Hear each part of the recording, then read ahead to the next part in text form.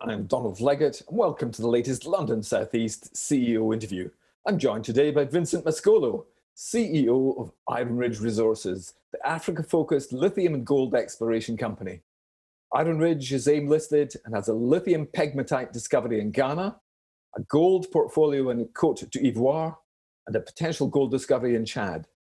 IronRidge have just updated the market on drilling activities in Ghana Welcome, Vincent. Thanks very much indeed for joining us today from Australia. Thank you very much for having me back, Donald. Much appreciated. We last spoke a couple of years ago, and I understand you've you've you've been doing a lot of exploration in the interim, shall we say? We we certainly have. I think when we were speaking a few years ago, we were a lithium company, um, and mercifully today we're still a lithium company, as the as the market would have it. Last year we were a gold company. Today we're a lithium company, so the the hedging our bets across multiple commodities and multiple jurisdictions is working very well. That sounds very wise to me. Uh, today we're talking about your flagship Ewoyaa lithium project, Vincent. So hmm. what's what's the headline news from there? Look, the headline news there is in the last 12 months we have delivered a maiden mineral resource estimate of around 14.5 million tonnes at about 1.3% lithium oxide.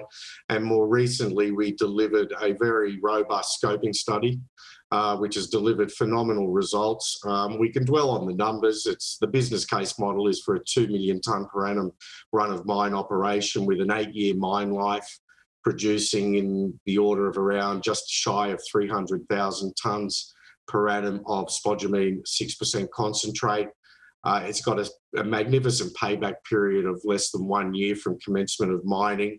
Um, and the numbers are robust. But look, I'm not going to dwell too much on the numbers because it stands to reason, given the fundamentals of the project, that the numbers were always going to look very good. And the fundamentals are we are uh, the project is outcropping, the metallurgy is exceptional, the geology is phenomenal.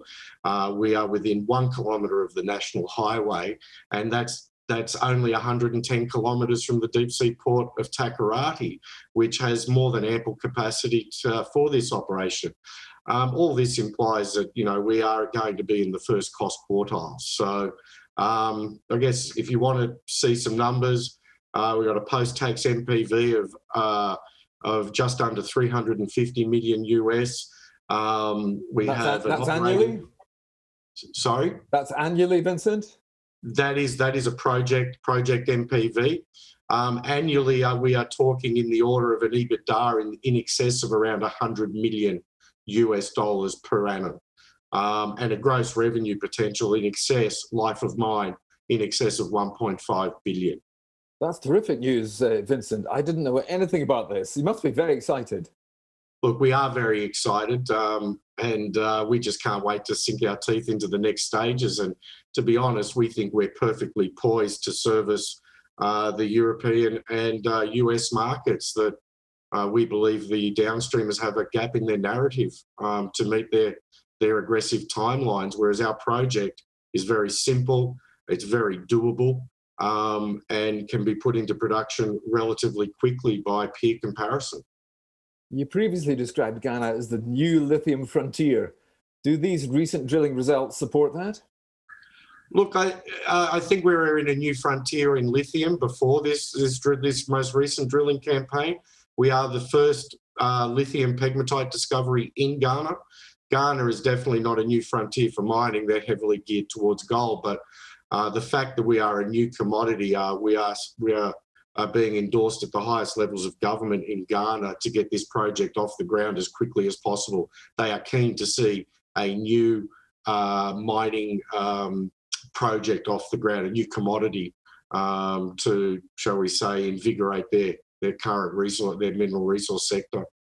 Okay, so let, let's drill down. What are the next steps to increase the mineral resource estimate, to commercialise the project, and to potentially develop a lithium mine? Okay, well, that's what we're doing now. We have currently an eight year mine life uh, forecasted. We'd like to see that to plus 10 years, and that's what this drilling campaign is all about. Um, and we hope that, uh, well, it looks like we're, we're, we're seeing visible spodumene, I think, in 95% of the holes we've just drilled. That's subject to testing, but the geologists know what they're looking at now. Um, so that's what this drilling campaign is is designed for: is to expand that resource, expand that mine life, add fundament, add add uh, more commercial economics to the project. Is this one of the best? Pro- this, would this be one of the best projects you've ever seen, uh, Vincent?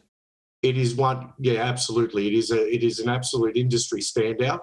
Uh, um, it does, it's not the biggest project, but it has some of the best metallurgy, grade, and proximity to infrastructure, is almost second to none.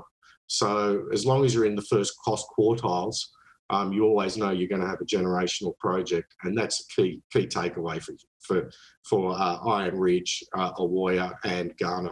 Fantastic. Thank you very much for sharing that. Uh, what does current funding look like, Vincent? Current funding's okay. We just raised 3.6 million uh, pounds through the conversion of warrants from existing shareholders uh, in a capital raise we did last year, what we call the the COVID capital raise. So uh, we got some very excited um, shareholders in, um, and this money will will deliver or should is sufficient for the next round of deliverables across Ghana, Cote d'Ivoire, and Chad. Okay. I see you've recently bought a tenure package next to Ewoyaa. Are the two yeah. connected geologically? Is it prospective? And is that why you're securing a larger footprint? Yeah, absolutely. Look, we had that project under joint venture uh, with our, our joint venture partners, Joy Transporters. And uh, we, we had uh, negotiated quite a while some terms to uh, accelerate to 100%. That makes it more attractive for us. And yes, it is part of the same geological structures as what we have at Ewoyaa. So definitely a fundamental uh, resource tonnage value add to be had there as well. Okay, a more broad question. Is Ghana an easy country to do business in as a miner?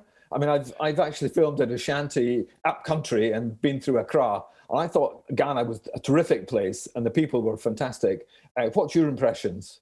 Yeah, look, we don't have any problems in Ghana. We like Ghana.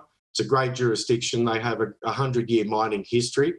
Um, it does mean that they actually know what they're talking about. So you have to have your wits about you. Um, but yes, they, they get the mining industry. They've had it for 100 years. So um, it, you don't have to, there's no, there's no learnings to be had or to be given. Um, it's, they know what they're doing. So yeah, it's, it makes it a lot, a lot easier. That's very interesting. Uh, let's touch on Cote d'Ivoire briefly and the Zaranou Gold Project. What's the latest on drilling at Zaranou? Right, we're in the final stages. I think we've completed all the RC drilling and we're in the final stages of our diamond drilling, uh, which will go towards an MRE. I won't put a timeline on that because there's just too many moving parts and it only takes one part to fall and you'll end up with a delay. But Zaranou is shaping up very nicely. We have an early ounces strategy. So in the top sort of uh, zero to 90 metres is what we call the weathered zone. It's basically a free dig, go and dig up your back garden and run it through the mill in a gravity separation. So that's the early ounces strategy, which we are uh, feeling more and more comfortable will underpin the value of the pro- underpin the future and value of the project. Um, should definitely be underpinning the value of the company, but um, at the moment we're only valued at less than what the lithium project is worth. Uh, Vincent, keep doing these interviews, and all will all will happen. All will be good. my my final question to you: What are the other parts of the portfolio which are keeping you keeping you busy at the moment? Not keeping look, you up at night, but just keeping you busy. Keeping me busy and keeping me up at night. In Chad, look, we've reinvigorated we've reinvigorated our activities into Chad after a bit of a standstill uh, while we were focusing on Zaranou.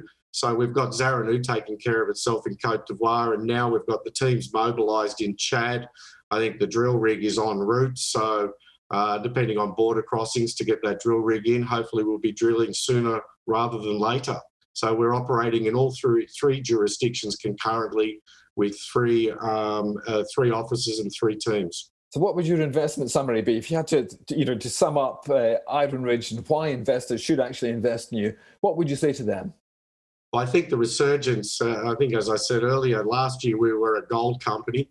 Today we are a lithium company. We're not getting any value for the gold, and in fact, I believe we're significantly undervalued just on the lithium project itself, which has huge growth potential. Uh, the resurgence in the lithium space has just been phenomenal in the last three months. Um, so you're going to see a trans. You're going to see what two great commodities to be in you, um, Donald. Um, lithium now with the, the, the, resurgence through EVs and stored energy, and uh, gold, which will be formidable um, uh, during economic uncertainty. Um, hugely undervalued at these levels, and definitely we feel neglected that uh, we're not getting any value for our gold assets at this time. Vincent, thank you so much indeed for speaking to us from Australia today.